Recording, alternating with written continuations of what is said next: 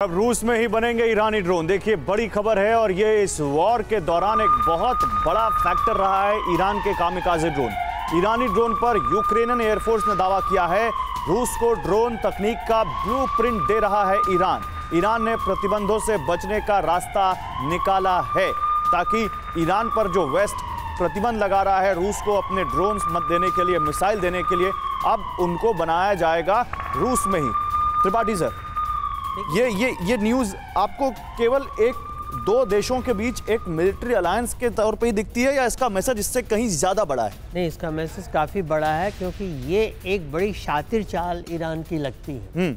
कि अगर आपने हमारे यहाँ ड्रोन बनाने और उसको बेचने से मना कर दिया तो हम दूसरे के यहाँ हम रशिया रशिया के यहाँ ड्रोन बना के बेचेंगे। और इससे ये लगता है कि ईरान और रशिया के बीच में रणनीतिक और सैनिक साझेदारी कितनी बढ़ गई है?